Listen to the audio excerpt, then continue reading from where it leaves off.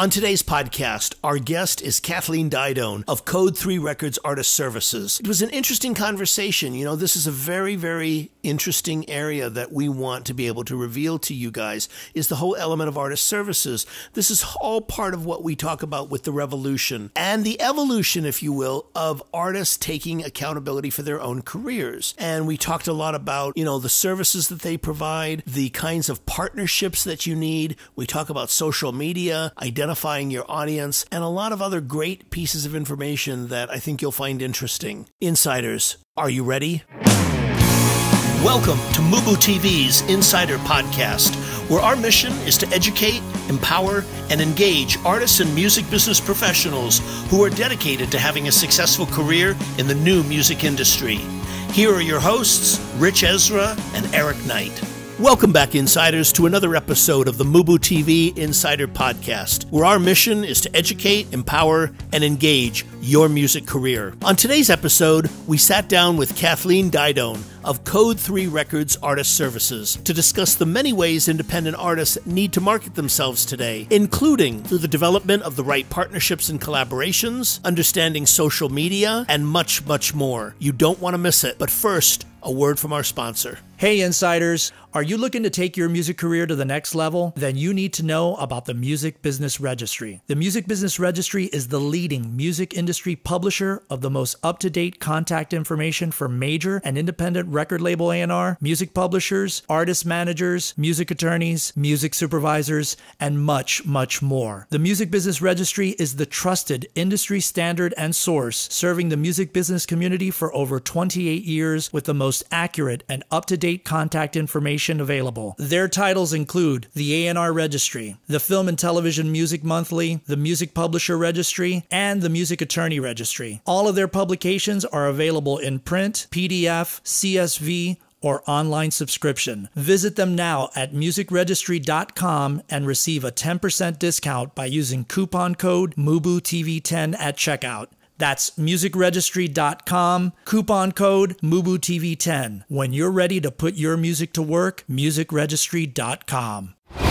Welcome back, insiders. Today's guest on our featured interview is Kathleen Daidone. She is the owner of a company called Code 3 Record Artist Services. Now, many of you may have heard that term over the years, artist services. What is it? It's essentially something that easiest way to explain it, it takes the place of a record label. It's a company that you can hire to perform certain services for you, depending on what your individual needs are. And it was an interesting conversation. You know, we had a, a, a talk with her regarding, you know, know what she does for her clients what are the content needs that she has like what does she need from you uh, some of the more interesting things i thought eric were like understanding the culture of the social media platforms that you choose to work in right. and finding the right collaborations and partnerships you know among some other stuff that uh, that we get into in this conversation. Yeah and i thought it was unique in the sense that you know her company is based on doing artist services for independent artists which is not something that usually happens. Normally a lot of these uh, artist services companies like a bmg or uh, uh, what was the other one called? Oh ingrooves ingrooves yeah, yes yeah. you know or companies like that where they deal with acts that have already had established established audiences and they may have been part of that major label system and they're now out on their own where they have enough of an audience that they can do something like this where it's much more beneficial. They retain the ownership of their masters and they basically control their destiny. So I thought it was a very interesting and unique kind of niche to be in with providing artist services for independent acts. Absolutely. And it's also very timely in that so many artists today, the amount of independent artists, eh, you know, who own their own material, who own their own masters is growing growing substantially. I mean, it's it's grown something like 40% in the last year and a half alone. So this will be an interesting conversation. Absolutely. So with that insiders, sit back, relax and enjoy our featured interview with Kathleen Daidone. Kathleen, I want to thank you so much for joining us. I really appreciate it. Great to be here. Thanks, guys. You know, I, I always like to begin uh, our conversations with with our guests by asking them a, a question about a personal question about their professional lives, which is, do you remember when you knew that you know working in music was going to be your professional career path? Oh yeah, you know, first time like I got into rock and roll, okay. teenager. All right, and uh, just started managing bands.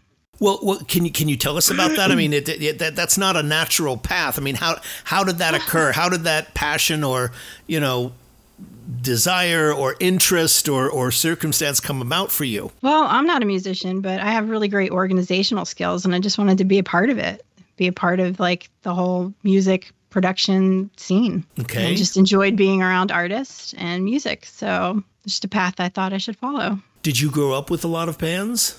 No, just a love for music with my father and, you know, always listening to music. And, you know, as a kid, like, you know, just quizzing me. Who's this? Who's that? uh, this is uh, Eric. Thank you so much for doing this, Kathleen. Um, let bet. me ask you, from your perspective, is this a healthy period for our independent music artists who you know want to build a career for themselves? And, and if so why? Oh absolutely. This is the time for indie artists i think. I mean the you know to begin your foundation in the music industry right now um, you know you can do everything yourself now. You know you can write record produce market um, it's an exciting time, I think, for independent artists. Okay, w- what are the tools that that make it exciting? Or, or you know, you say that you they can do all those things. What what, what is it that um, well, I mean, for so- social media, for one, I mean, you have like a direct, you know, to fan, you know, contact now. So, you know, through all the social networks. And then, um, you know, with home recording and stuff, you can put out your own music, record it at home. Um, there's multiple ways to distribute now through all the you know distributors that are available to independent artists. Um, and then you can even you know start to grow your own business and become an LLC and and uh, make money from royalties and selling online as well as the shows. Okay. All right. You know, Kathleen, you know, I think it's fair to say that we've been going through a radical revolution in the music business for over, like, I guess the last 15 years, and it doesn't seem to be subsiding. And today, the artist has so much more power, as you, you know, just you know indicated and they have more control over their art than ever before but there often seems to be a huge gap between this reality and the knowledge that artists need to harness and control uh, their music and career. And I'm curious, Absolutely. yeah, as someone who's on the front lines of you know marketing music and recording artists today, what are the biggest mistakes you see artists making when they start to market their music today? Well, for one, not being signed up appropriately with like a, the the PRO as a publisher and as a songwriter. A lot of artists don't know that they are their own publisher. They are self-published, and there's royalties that can be collected. So a lot of artists aren't aware of that. Um, they're not aware how to collect their mechanical royalties and uh, those are things that you know artists need help with and some guidance and it comes down to metadata when it when you in the digital world now okay so um, you know that's a big you know thing that's left out that a lot of artists just aren't aware of can you talk about the importance of the metadata when they're creating their recordings or putting their recordings together? Because I know that that's a real crucial element in terms of. Um, Even with music supervisors, yeah, they're yeah. always harping on the metadata. The metadata, yeah. Can you talk about yeah. that? So metadata is pretty broad, um, and there's all different ways to find metadata, and it's all the metadata is not in one location. Um, it's in the recording of the song. It's where you distributed the song. It's how you registered it with a pro. Um, and it's, you know, ISRC codes, it's UPC codes, it's ISWC codes, and it's where to locate those and how to compile it. And um, when you're talking about music supervisors, you know, it comes down to clearances. And, uh, you know, most music supervisors that I've worked with um, look to the pro accounts of the artist to double check that they're cleared to license music. So, um, you know, that's really important is to have all your ducks in a row per se with your, you know, registrations, your metadata, um, to license, but to also collect royalties. Yeah, and, and you're alluding to that with my next question. Is there a specific set or checklist of agencies that artists need to be aware of to ensure that they maximize all of the revenue due to them? I know you kind of touched on yeah, absolutely. Um, and that's what we do for artists at Code 3 is we really, you know, have a process that we put in order. And it's, you know, one number one, register with the pro as an artist and a, as a publisher and uh, make sure your songs are registered with Nielsen SoundScan and make sure you're registered with Music Reports, Harry Fox, SoundExchange, uh, the ARC, which is the Alliance of Artists and Recording Companies, which a lot of people aren't aware of. So, um, you know, those things. I mean, TiVo AllMusic, you can actually submit metadata to now, so you come up in uh, like on the Spotify uh, About section. So all those things are steps you need to take, and it comes down to spreadsheets. yeah, definitely. Spreadsheets in terms of keeping track of all of the uh, administrative stuff, administrative yeah. aspects of yeah. it. Yep, absolutely. Yeah, and each agency requires a different set of spreadsheets, um, and you know, in Metadata in their their specific order. So it's knowing what the agency requires, and then actually, you know, executing that spreadsheet and uh, plugging in the gaps. And you know, essentially, what you're doing is throwing a big net over you know all your royalties out there and trying to catch them all. Okay. You know for for for new you know you deal with a lot of new and emerging artists today and and i'm curious kathleen if can you talk about how important today as opposed to you know perhaps when you started in the business how important an artist's personal narrative is when developing their marketing plans you know their their their own personal narrative in terms of getting that across? Uh you mean like their brand? Yeah Sim- similar, yeah. Yeah, I mean, a lot of artists aren't, aren't really aware that when they're just getting started that they are a brand and uh, how to how they want to represent themselves and their music. So you know, that's something that that's a development thing. Um, I would say, you know, not sure exactly how you want to present that and present it cohesively across, you know, sh- live shows, um, the digital world. Um, so you know, it's it's it's a trial and error, really. Um, but for some guidance, you know, it's basically talking to artists and telling them what we've learned and what other people have experienced based on our knowledge. Absolutely. And let me ask you, Kathleen, getting back to a previous question that I asked you, but for social uh, media needs, is there a specific set or checklist of content needs that artists need to be aware of, you know, with social media and content creation? For social media, I mean, it's consistency, and and that's that's really what I would tell I tell artists is you know post once a day, post something you know that's about your music, post your lyrics. Um, post something that's interesting to you that your fans would find interesting, you know. Uh, but more or less, it's about consistency. It's letting you know your audience know that you're here and this is what you're doing, and you know that'll just grow your fan base because people are interested. If they're interested in your music they'll be interested in your brand and you know who you are and what you're doing. You know kathleen you you in your work must deal with a lot of different types of social media platforms.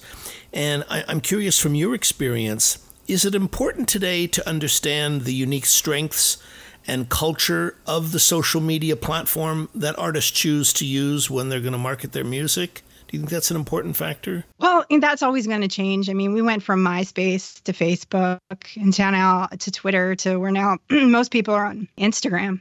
And uh, so, Instagram, you know, you can really harness that. And when you post something, you can post to Facebook and Twitter at the same time. So, you know, utilizing Instagram right now, it seems to be, you know, that's that's putting your finger on the pulse of you know where people are looking so youtube you know, I, I, you mention all of these, but yet I'm sure you'd agree they're not all the same audience. You know, each one of these platforms must have you know distinct features or distinct audiences to them. I guess you know Facebook's audience is totally different than Instagram's audience, wouldn't it be? Absolutely. Um, you know, you got to be on all of them, and uh, you have to but consistently update them is is the key i think okay um, you can't just abandon one platform versus another um, you know facebook a lot of people like to post their shows and you know when they're playing where they're playing that sort of thing instagram is more like pictures of your shows um, or to you know also promote but um, you know, another key I think area is you know music videos on YouTube and uh, Vevo. Yeah, I guess the question was, I guess you know, I guess not all social platforms are for all artists. That you know, you were mentioning that they should be on all. of I mean, is that something you feel strongly about? That all the uh, uh, artists or bands or acts need to be on every platform, or are there some that speak more to them than others? I mean, it, depends on your audience. Where's your audience? You know, where are your fans? Um, so I guess that is kind of more or less, you know, artist, you know, it depends on the artist and uh, where your fans are. Um, so it's kind of hard to just put every, like all our eggs in one basket. Right. Yeah. You want to diversify, is what you're saying. Yeah, definitely. Hey, insiders, we hope that you're enjoying our featured interview. Before we dive back in, a word from our sponsor. So, hey, Ritch, tell me a little bit about the Music Business Registry. Well, what we are, eh, Music Business Registry is the leading contact directory. We publish all of the most current, accurate, and up to date contact information for the music industry. We do directories for A&R, we do directories for music publishers. We do directories for film and television music. We do directories of artist managers, and we do directories of music attorneys.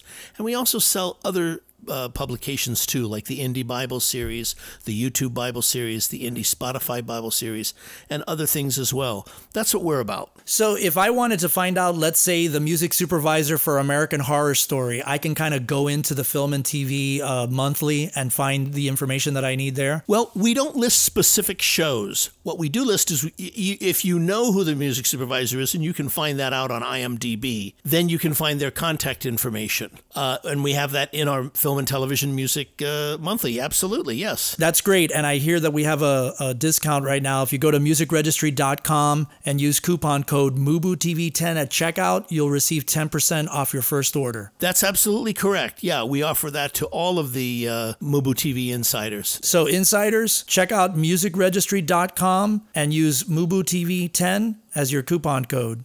Let me ask you there's been a lot of talk uh, around providing context to an artist uh, music today, especially when it comes to the idea of pitching it for licensing. Uh, can you speak to this? Well, everybody wants to license their music, right? and and that's great. And um, but when we talk to you know artists just starting out, they're just not ready to license their music. Um, and what I mean by that is some of them, you know, some artists aren't registered even with a PRO, a performing rights organization. And really, you have to start there uh, because in order to get the license, you know, the music supervisors to protect themselves in their project have to make sure that they are clearing it correctly with the owner of the music. And and if you're not set up already, you know, legitimately, you know, with an agency, then, you know, chances are they might, you know, get a little nervous and not want to go and pursue that. That makes sense. Yeah. Okay. Is there a sense that you get when you're licensing music that they want to know the story or the background of the artist? I mean, rather than just the, or is it just strictly oriented toward the song when you're dealing with music supervisors? Well, you know, when we're pitching to music supervisors, we definitely include highlights. For example, we work with artist Jimmy Sweet. He's out of LA and he sold out the Hard Rock Cafe in London. So when we pitch his music, you know, that's something we introduce to the music supervisors to let them know that, you know, this is an artist that is, you know, professional and, you know, is, you know, pursuing his music career and he's being and he's successful at it. So this is possibly a song that not only might fit your project, but, you know, an artist that would be supportive of the project and, you know, assist with, you know, getting the word out about your project, you know. Okay. You know, um, we've sort of gotten into the uh, specific area of, you know, one of the services that your company provides, which is the idea of, you know, licensing music or taking your client's music and licensing it into film and television placement. Can you talk about that service and how it works for your clients? Sure. So, I mean, before we even pitch artist music for sync opportunities, like I said, we go right back to the beginning and is are you registered correctly? Do you own your music? Um, you know, has have you ever, you know, licensed your music to a publisher already? So, you know, it's making sure the clearances are in place before we go ahead and pitch because once you go ahead and pitch, you know, you want to be able to execute, you know, you know, speed Quickly counts and sync. Because yeah. if someone needs a Exactly. So, you know, if, you know, music supervisor, and this happens all the time, they, they say, you know, we need this within 24 hours. Can you clear it? So, you know, in it's having the clearances in place are key. Um, you know, and then, but when you're talking to music supervisors, they have, you know, very specific, uh, you know, things that they have in mind for their project. And, you know, not all songs fit criteria that, you know, they require. So it's about, you know, finding music that we have in our catalog and, getting it to the music supervisor in a timely fashion. Um, if we don't have anything, then we don't submit because we don't want to waste anybody's time. You right. know, music supervisors can be very specific with, you know, we need to like an, an Americana folk song. You know, we don't want to send them hip hop. exactly. Yeah, because your credibility like gets so, destroyed right there. You know, it's yeah. it's you know clearances first, and then it's absolutely and and you don't want to do that you know it, time is time is you know of the essence. So uh you know it's clearances first once we know we are cleared with an artist and we got all those ducks in a row then we look for opportunities. And you know with the network of music supervisors we've worked with you know we we um ask them what they're working on what they need and uh tell them we already have it pre-cleared and ready to go. So uh, a lot of music supervisors like to hear that first. If you have 200% clearance they're they're they're interested. And the reason it's 200% just for our audience is so you can clear the recording and you can clear the the the song which is the music and the lyrics uh, underneath. Correct. Yes. What are some of the trends you notice about music clearance today or about you know song placement? Are there any kind of trends that you're seeing over the last year? Any kind of you know musical uh, styles that are becoming more dominant than others? Or is it just you know depending on the project? And i ask this of you kathleen because the volume of television shows and the volume of content that's being created over the last year has, you know, literally doubled uh, in the last three or four years than it was, you know, in the past. So, have you seen any kinds of trends uh, that have emerged for you? I wouldn't say it was any specific genre per se. I mean, it's project dependent, but definitely the the the field has opened up greatly, and especially for independent artists because you know you know everybody's got a budget that they have to work with. And you know and not saying that you know the independent artists get paid significantly less because that's not always the case. But i mean when you're you're a new artist and you have an opportunity to get a license you know chances are you might not be making like you know a huge sum of money. But um, the trend i would think would be that there's more availability to license like you said because there's you know all these outlets for projects now you know netflix hulu they're all making their own um, you know movies television shows you know that sort of thing. I mean even like youtube content is is you know youtube content creators are looking for music for their projects. So the the, the door is wide open for licensing. But as, as far as like a genre, I wouldn't say that there's anything specific now because, you know, we've gotten requests for, like I just said, Americana into, you know, Northern Mississippi hip hop. Like it can really, um, it's going to keep growing and uh, the outlets are going to keep growing because, you know, the services now are pretty much a la carte, you know, for these networks. So, you know, there's going to be more and more series, more and more movies, and a lot of it's independent. But I think it's really budget, you know, comes into play, and independent artists can fit their budget. And as long as the clearances are in place, you have a very good chance of securing a license. Are, are you seeing any kinds of trends uh, as far as uh, content or types of you know people that are producing? I mean, are there more independent projects, or are there more streaming projects, or are there more network projects, or more you know commercials uh, that are coming to you? What's what are you seeing on the horizon in terms of you know being on the front lines with this? Uh, it's all of the above, honestly. Um, that's it's the truth because you know you got all kinds of content creators out there now and uh, music it ties right into you know the the images that they're putting out there. So i can't say it's you know you know it's maybe not blockbuster films you know uh, but okay definitely independent films for sure. We're seeing a lot more of that action, um, especially with all the independent film festivals now, right? That are you know out there. So yeah, indie film, and uh, we just that we had an indie artist placed a couple months ago that aired at South by Southwest. So that's pretty pretty cool. yeah, I mean it's funny you mentioned blockbusters. I most of the big tentpole blockbusters like the Avengers and those kinds of movies and and. The, they, they're not music oriented films. They don't have a lot of songs in them, period. I mean, they have an orchestra score, but pretty much that's i mean there's not many licensing opportunities whether you're you know a big artist or not i mean it's not like they're filled with you know with lots of uh true of, of Definitely songs true. so yeah so so it is uh, interesting uh, in that to regard. be more involved with a series yeah mm-hmm. absolutely is is much more uh, much more uh, the case these days. When you're working with a new band or artist that you're planning to take on at Code 3, um, how do you determine or identify who their audience is? And, you know, I ask this question uh, because a lot of our audience, you know, it's one of the key things that I think they get stuck on is trying to identify who their audience is. And, you know, maybe you can go into that a little bit more.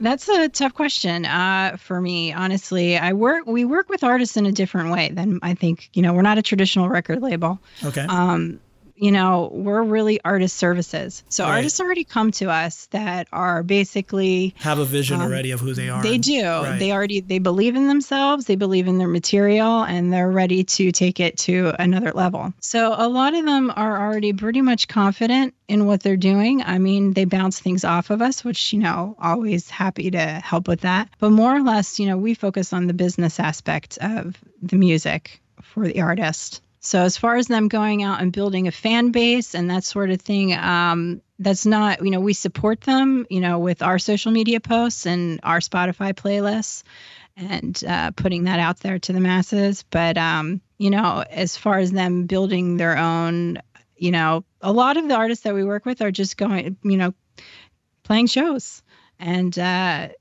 creating video content to put out there on the Right, they're already yeah, they're already active in their own right. So you're just kind of coming in there and trying to scale it for them. Exactly. Yeah, and let me ask you, would you have any advice you personally as far as, you know, uh, a band or artist trying to identify who their, you know, audience is? Well, I honestly couldn't really say. I mean, because each artist that we have, we don't are all different genres. So, I mean, you know, we got from punk artists that will go play the punk scene, you know, at the the clubs downtown, and then you have the singer songwriter jazz quartets that play in coffee shops. So, but you know, release music through you know the plat the platforms, the digital platforms, and you know try to maybe even get their CD into Starbucks or something. You know, um, but I guess it just comes down to genre specific uh, as to where you're going to find your your base. Okay. Yeah, I mean, I guess it just you know comes down with with regards to the right collaborations and and partnerships uh, in an artist's career. Do you ever offer uh, artists that kind of advice on on the partnerships or the collaborations that you feel might be appropriate for them, or that you know you could turn them on to uh, in terms of your work? Partnerships meaning I'm not really following there. Partnerships well, partnerships in terms of like like what you were saying with like you know a Starbucks or or something like that. Uh, oh, sure, those, brands. Yeah, um, yeah.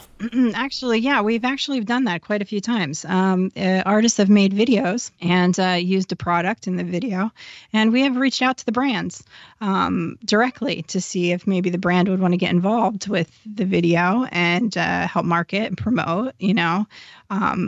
We have not had any brands that have actually executed you know that but um, that was definitely something we were actually over the last six months looking into okay. and uh, what what we learned from that experience with the brands is basically if it's already done and it's already out there uh, the brands aren't really interested because they feel that it's actually just a fan made video um, of their product so I suppose if you were looking for some sort of brand endorsement, you know, as an artist, it's something before you would release it into the public domain, you would want to, you know, get in touch with the brand. Oh, so directly. it's something that they would have to do uh, beforehand, reaching out Definitely to the brand as advance. opposed to putting it out. Interesting. And okay. Yes, for sure. Because we had one artist that was interested in doing like a beef jerky partnership. I was like, okay, your music fits beef jerky. Sounds good. Okay.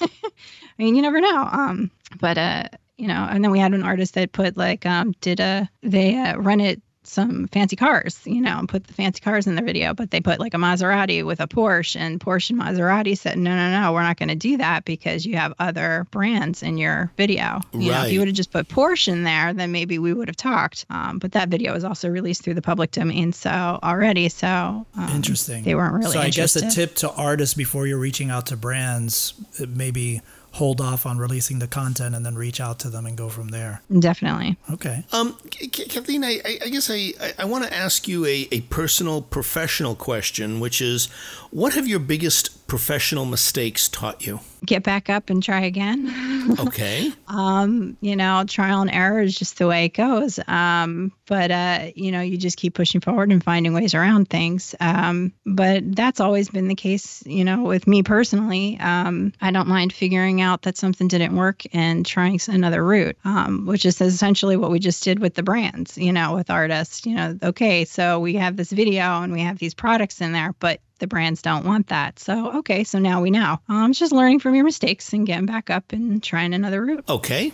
All right. Let me ask you, Kathleen, throughout your career, um, are there any specific books or movies or any kind of other media that you have found to be particularly inspiring that you would recommend uh, artists you know should be reading or watching to educate themselves? I, I looked at digital music news a lot, um, digitalmusicnews.com, uh, to see what they're putting out. Uh, Ritch Esra, I've looked I've looked to you over the years for oh, sure, uh, no you. doubt, absolutely. Um, uh, you know, really, it's you know getting information from everywhere. You know, books, you know, blogs, uh, Ariel Publicity. Uh, I think she's cyber PR now. I've Yeah, looked to her yeah. for advice Yeah. uh, over the years, and she's amazing. She's got a wealth of knowledge.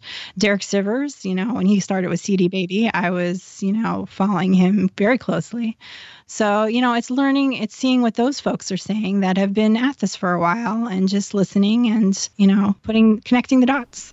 Sure. For, for, for someone who is committed to having a career, you know, like your own in music marketing and in helping artists, what advice would you have for them to get started? Definitely hire a marketer, a knowledgeable marketer, um, someone that has experience, that's done it before, um, because it's its own beast marketing your music uh, you know from getting it to radio to get it in, into you know music reviews and you know a, a hi- hired well-trained marketer can really help you navigate uh, as opposed to doing that yourself.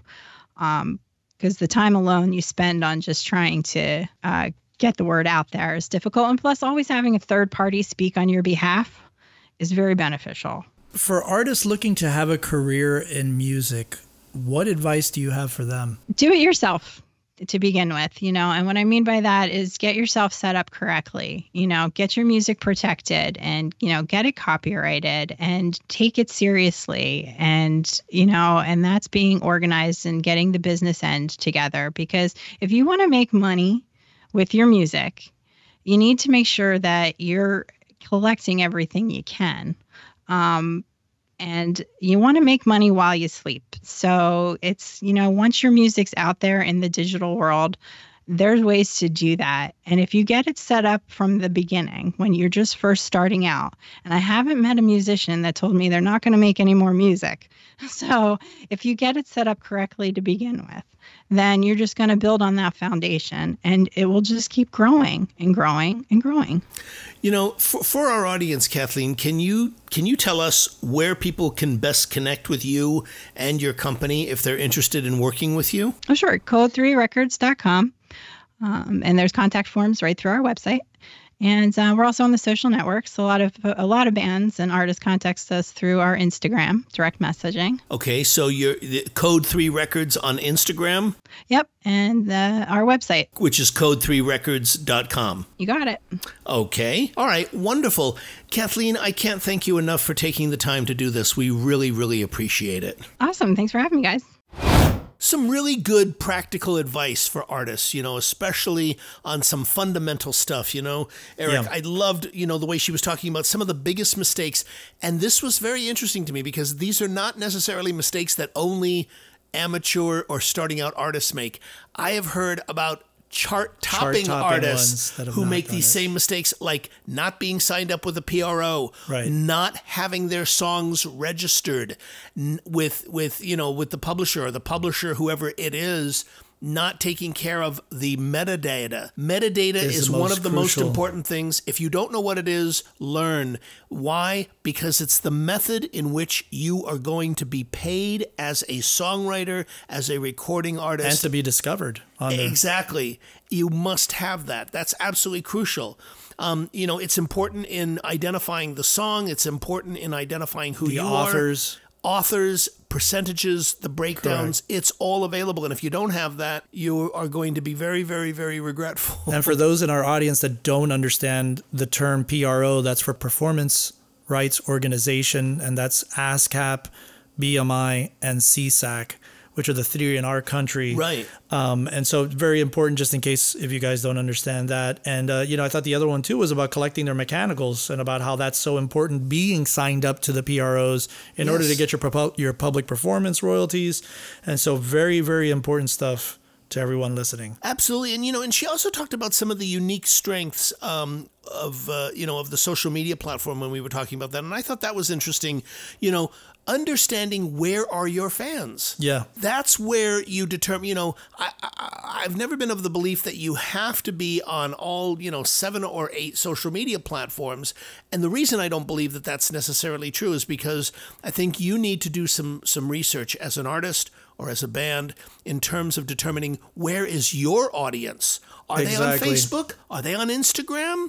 Are they on Twitter? Where are they? Right. And what platform are you going to use to most effectively communicate with them? Yeah, and another thing that I wouldn't have said in the past, only because we started when we started our journey on the social media um, path with everything. Um, you know, we started on three that we knew that I kind of just knew instinctively, but typically now, what I've heard and, and read about, and I think it is a more smarter way to go, is to have a plan. Let's say you do want to be like in our case with our band, we're on, you know, um, Facebook, Instagram, and Twitter. We started on all three of those in advance, but now, and it, seems to be more logical, is to become big on one platform and build that one and really understand that one first, and then start building your other ones outward instead of being overwhelmed. And you know it's particularly for people that don't have a grasp of social media and what it is i think a good rule of thumb would be okay you guys know you're going to be on x platforms. That's what you guys think okay start with one and build that one and learn that platform really well learn the intricacies the ins and outs of it once you master that and you've got an audience then make an announcement hey we're going to instagram we're, we're starting our instagram and then start building that from there Absolutely. I think that's great advice and really do a deep dive on, you know, what platform works for you. And you can answer that by understanding what platform your audience, audience is in on. yeah i think once you determine that, understand then you're on your way yeah Absolutely. The other thing that I thought was really interesting uh, that that she talked about is the the idea of determining who the audience is. You know, that comes down to demographics and what there there's a term in the business called psychographics, Psychographics, yeah. and this becomes very important when you are doing social media marketing. Absolutely. where you can get into things like what are psychographics? Well, demographics are you know the age and the the, the Education level. levels and and where people are. Psychographics are more of the finite it's, things. deter- it's determining who your avatar is. Exactly. Are they educated are they rural people are they city people are they people that have you know gone to college are they people that have not gone to college what are their Do beliefs? Yeah, exactly. What are What are their their what are their political what are their political affiliations? I mean, it's getting down to all of that. Exactly. Are they married? Are they single? How old are they? Right. What's the um, place that they live? Are they, you know, church going? Are they not? Values. All of that gets into, you know, being able to identify. And you can do that today in a very, very interesting way. We can really break down the finite elements of social media. So Yeah. that's why you need to have an understanding of that stuff. Yeah, and also I find, I you know, I found that uh, in terms of her talking about, you know, finding the right collaborations and relationships with brands, and I thought this was a, a good one. You know, uh, you know, she talked about some of the mistakes that some of the bands that she was working with made, where they had made a video and they had put product in the video, and then they they again it wasn't through their fault. It was just they just tried it that way. And uh, i believe they had some product placement in the video and then they went to reach out to the actual brands. And then the brand said well you guys have already done it. It's already out there so we have really no interest if you've already done it. And i think she talked about a really good point where i guess one of their videos i don't know if it was a hip-hop act or something but that had like a, Fer- a ferrari and a lamborghini in the video. And you know I think the brands they came back to him and said, "Well, we would have been interested if it would have been Porsche." I think is what she talked Porsche and a about. Lamborghini were in both of the video, right? yeah. And uh, you know, we may we may have been you know interested if it was just Porsche, but you guys ended up mixing the brands, so we really don't have any interest. And plus, it's already out there.